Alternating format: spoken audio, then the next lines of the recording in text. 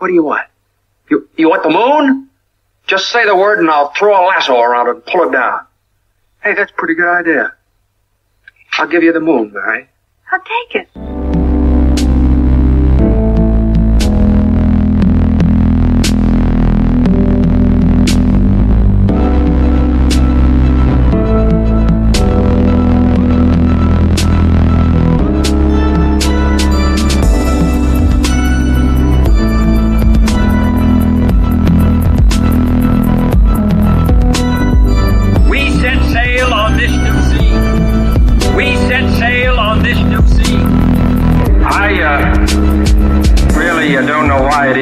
Uh, all of us are so committed to the sea.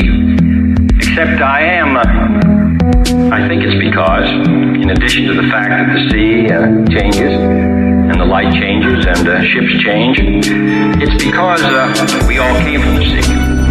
And it is an interesting biological fact that all of us have in our veins the exact same percentage of salt in our blood that exists in the ocean.